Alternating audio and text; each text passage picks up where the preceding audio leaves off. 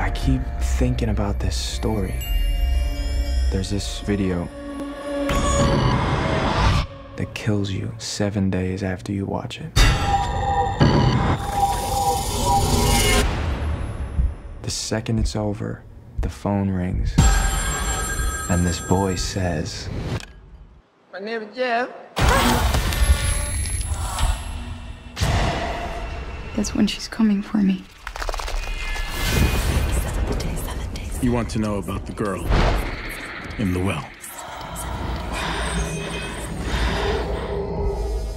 What does she want from me?